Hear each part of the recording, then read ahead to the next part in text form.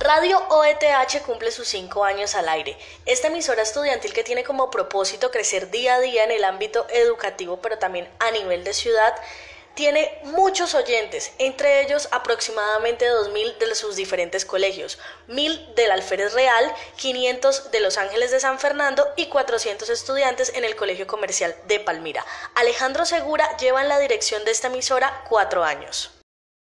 Ha sido eh, algo difícil, ha sido un proceso largo, pero el cual tiene sus frutos eh, muy positivos, en los cuales uno nota que el esfuerzo que ha hecho durante este tiempo con los muchachos, con inculcarles que es un medio de comunicación, que eso es un canal de expresión, pues lo han recibido de manera satisfactoria y de manera positiva. Lo que más me gusta de todo es que puedo decir que pongan canciones que me gustan, socializar, contar historias, sí, lo que dijeron anteriormente. Pues me gusta la música que colocan, eh, pues que a veces podemos venir a compartir con ustedes, conocer a grandes artistas.